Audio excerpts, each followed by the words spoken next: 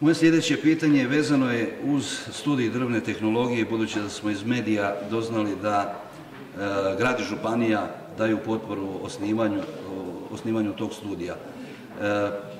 mene sad zanima koja je razlika u odnosu na sadašnji studij šumarstva i da li je to u nekoj svezi sa rekonstrukcijom zgrade veleučilišta? Drago mi je da se postavlja pitanje što se tiče školstva, jer to je vrlo bitna tema za one ljude koji nas sad slušaju i to je nekakav naš program i cilj kako izvući Viroviticu iz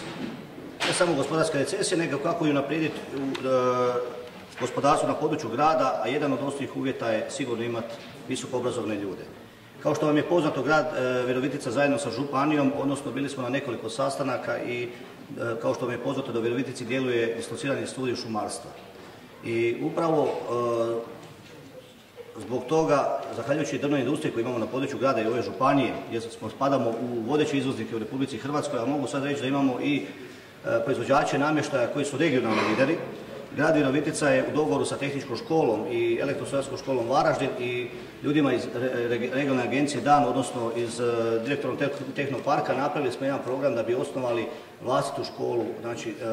studij za drvo, koji bi bio sa primjenom CNC tehnologiju. Kao što vam je već poznato, cijeli svijet od 80. godina koristi CNC tehnologiju, a danas se to već zove robotika, dok se to kod nas tek stiljivo pričalo u Hrvatskoj, a o Virovitici neću ni govoriti. Ali evo reću vam jedan podatak, prije dvije godine i e, tvrtka Twin je uvezla CNC tehnologiju i e, upravo se pokazalo da i naša škola tehnička koja djeluje na području grada i ljudi koji, učenici koji rade na CNC tehnologiji su zapravo e, ljudi koji mogu sutra raditi u privredi i ta CNC tehnologija nosi strahovite uštede ne samo u energiji nego nosi i što se tiče konkurentnosti na, na tržištima. I stoga je e, županija sa gradom bila na šumarskom fakultetu gdje smo zatražili pomoć šumarskog fakulteta kako bi krenuli osnivanje vlastitog studija. Kao što mi je poznato, u Virovitici djeluje i visoki menadžment u informatici, upravo povezivanjem i CNC tehnologije i informatike i e, tih sličnih srodnih studija, grad Virovitica radi jednu drugačiju priču, ali baziranu prije svega na vlastitim kapacitetima koje posjedujemo na području našeg grada i županije. Ali nije tu kraj priče. Mi idemo dalje sa novim studijima, nama je želja da dobijemo tri vlastita studija kako bi osnovali veleučilište i kako bi u konačnici imali svoje vlastito veleučilište sa vlastitim kapacitetima. I odavde, e, pod ove točke moram se zahvaliti Visokoj školi za menadžment informatici i jedna od rijetkih škola u Republici Hrvatskoj koja je sada, evo u ovom momentu imaju sedam ljudi na doktoratu. Sedam naših ljudi će doktorirati i imat ćemo po prvi puta u Virovitici u povijesti da ljudi doktoriraju na području našega grada i ostaju ovdje raditi što je dosta bilo nezamislivo jer nismo imali nikakvih e, visokih ni viših škola. Stoga, evo, uz menadžment informatici, informatici uz e, znači, studij za drvo u CNC tehnologije, grad Virovitica je u dogovoru sa županom, gospodinom Tomislavom Tolišiću, koji ima izuzetni sensibilitet za školstvo. Pokrenuli smo niz aktivnosti, jedna od aktivnosti je dobivanje dislociranog studija za elektrotehniku. E, već smo potpisali zahtjev prema sveučilištu u Osijeku i jedna od stvari koja je vrlo bitna s kojima smo zajednički isto također nastupali, a to je osnivanje visoke škole za sestrinstvo. Kako bi naše medicinske sestre, zahvaljujući izgradnji nove bolnice i kapacitetima koje imamo i u domu zdravlja, ali